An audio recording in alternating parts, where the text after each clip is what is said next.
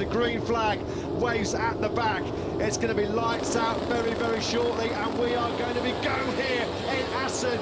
Great start from pole position for Pecco Bagnaia. Likewise, Fabio Quartararo as well, the World Championship leader, coming from the middle of the first shot. He's going to slot into second place. Aleix Espargaro's had a really good start. Quartararo's going in wide. He's going hot in that first corner. Martin and Aleix Espargaro sweep on through. Quartararo was second, back to fourth. And what about this one, Aleix Espargaro? Stunning start from the man second in the championship, fifth to second already. Aleix got away very, very well. He was on the outside of turn one and was able to take advantage. Quartararo straight back through into the strub, and he knows he needs to get out front as early as he can. And Pecco Bagnaia already trying to build up a lead. Martin now just up behind Aleix Espargaro. Then we have Jack Miller, who has to serve his long lap penalty, and Marco Bezzecchi back in sixth.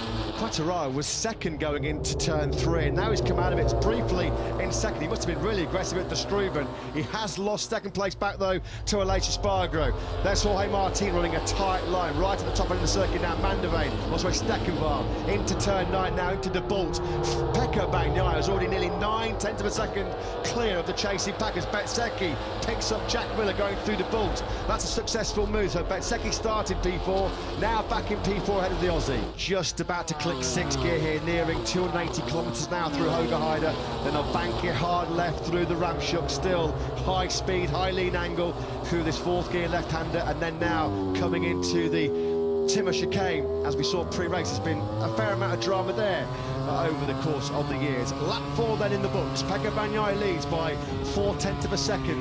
Aleix Espargaro is the man in second place. We're looking at him now from Fabio Quartararo, who's right in striking distance now, the Aprilia man fastest rider on track though is Marco Bezzecchi in fourth position. The three leaders up ahead are all lapping here enough on the same lap time on a 133.0, but it was a 32.7 for Marco Bezzecchi in fourth position. He's pulled clear as Quartararo now attacks. Oh, he's down! down! Oh no, Fabio Quartararo's gone down!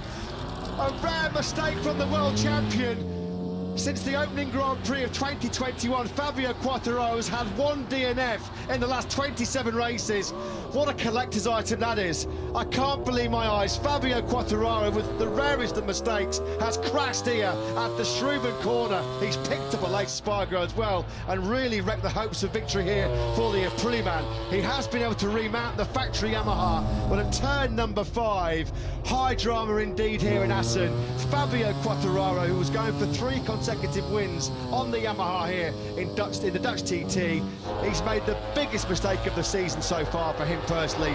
Down at turn five, he's remounted, but that's game over for his victory hopes here in Holland. He's up into 14th position. He'll be boiling under that helmet, course. He'll be raging with what's happened Aleix Espargaro, but he does still have the opportunity to claw back some points on Fabio Quartararo. Here's how it looked from the rear of Pecco Bagnaia up ahead.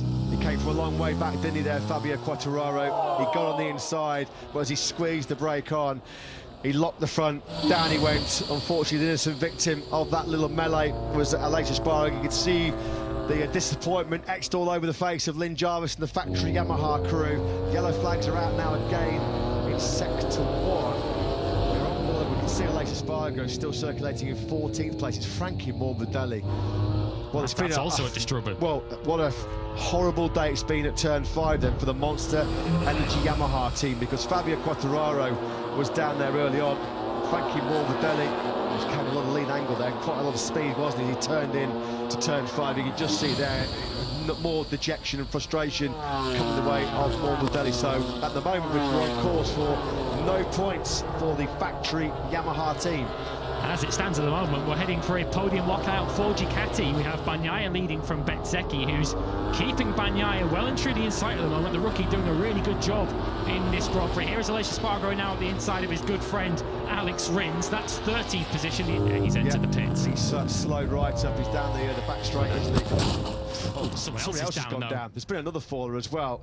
So Fabio Quartararo is uh, calling it a day here after a rare mistake from him. Thankfully for Ducati fans, it's none of the top three. It's Darryn Binder. So now, that was a big one. Wow, that is a very, very second-hand RNF Yamaha, to say the least. So three Yamahas have had a bad day. Now Stekkenwal catches out the South African rookie. So we've only got Andrea Dovizioso now on the factory, on the Yamaha that's currently involved in the Iwata factory, and he's outside the points as well further up ahead of him that brings him back into contention and maybe he can steal a point or two, but it's not looking likely at the moment. Here's what's been going on then in the battle for fourth. Maverick Vinales has taken it, and there is why A little bit wide there for Brad Binder. Uh, Maverick Vinales spots the opportunity as he goes through turns three and four. So the Solar Aprilia man towards the front of this Grand Prix, now up into four, fourth Premier Class. Here's a look at the start once again. We're looking at Joan Mir. What are we going to take a look at here as he pulls into the grid? He almost makes contact there with Miguel Oliveira, oh, yeah. and something drops off the Suzuki. I think it's the wing. I think it's Miguel Oliveira's arrow, isn't it? Is he going to make contact as well to line? He is. He makes contact with Luca Marini as well. Joan Mir no wonder must, Marini dropped back. Joan Mir must feel like he's in a rugby scrum after the start of that. Oh, he's down. Oh, Quartararo oh, again. Oh, Fabio Quartararo has gone down again. Well, high drama again, Fabio Quartararo. Well, we thought it was unusual to see him crash once in a Grand Prix, but can you believe this now? He's crashed twice in the Dutch TT in 2022. He's really in pain as well. That was a big one. Was that a high side coming out Looked of it. the Strubben? It is. It's a second crash in turn five for Fabio Quartararo. Don't think I've seen anything like this for quite some time. Then the reigning world champion, your current MotoGP World Championship leader, Fabio Quartararo on the way in, hitting Aleix Espargaro a few laps to go, and on the way out of turn five, Oy. that's a big one. That's horrible. That's a savage one. A bucking Bronco that factory Yamaha turned into. We're looking now directly at Fabio Quartararo. He starts to lose the rear tyre and then he just gets flicked once, twice, three times. He had that crash at turn five early on when trying to snatch second place right here from Aleix Espargaro at the Strubben and then having gone back out of the circuit as Lewis said, a futile task really. He had no chance of scoring points in this Grand Prix, then coming out of the Strubben, a big, big high side for Fabio Quartararo. A little bit fortunate to walk away from that one, but it's the first blot on the copybook for him so far in 2022. He'll see his World Championship lead potentially slink, shrink to around 30 points. This is the horrible second crash for Quartararo. That was nasty. A proper headbutt onto the screen of that factory Yamaha. His day has done here in Holland. There will be no more Dutch delight for Quartararo after his brilliant dominant win here one year ago. Conditions, Jorge Martinez really been caught out by the rain spots before they can see it in the background. Jorge Martin was fourth at the start of this lap 18. He's already lost places to Binder and to Miller. Binder and Miller slick tyres on a wet surface. Those are two them, guys it? that you would put your mortgage on, want you to be right in the heat of the battle.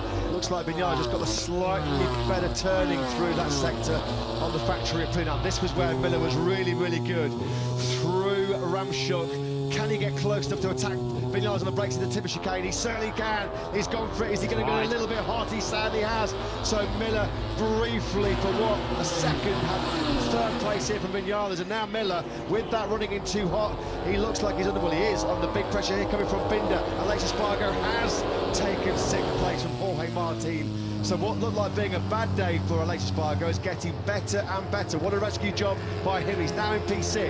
P5 for out of the question, yeah, either. He did a 132.8 last time around. That was four tenths quicker than Brad Binder. He's got half a second to make up on his final lap. He's going to be very, very close, Aleix Espargaro, to the South African in that final chicane. But with that into the chicane last time around, that leaves Maverick Vinales clear. He's just got a mistake-free final lap to go, and he will have finally his first podium finish in factory Aprilia colours. It would be a bit of a save for the Aprilia team in general, wouldn't it? If Aleix Espargaro can join him inside the top six. Bagnaia's lead at the front is a second and a half. Bezzecchi is clear of Maverick Vinales. He's got a one second advantage in his pocket, and Vinales at the moment looks safe in third position. The big question is, can Miller hold off Binder, and can they both hold off Aleix Espargaro? Bagnaia has been the top man in this Assen Grand Prix, but it looks like the Top Gun will hold on for his first Aprilia podium. Here we come then, Pecco Bagnaia through Hoogerheide to turn 13.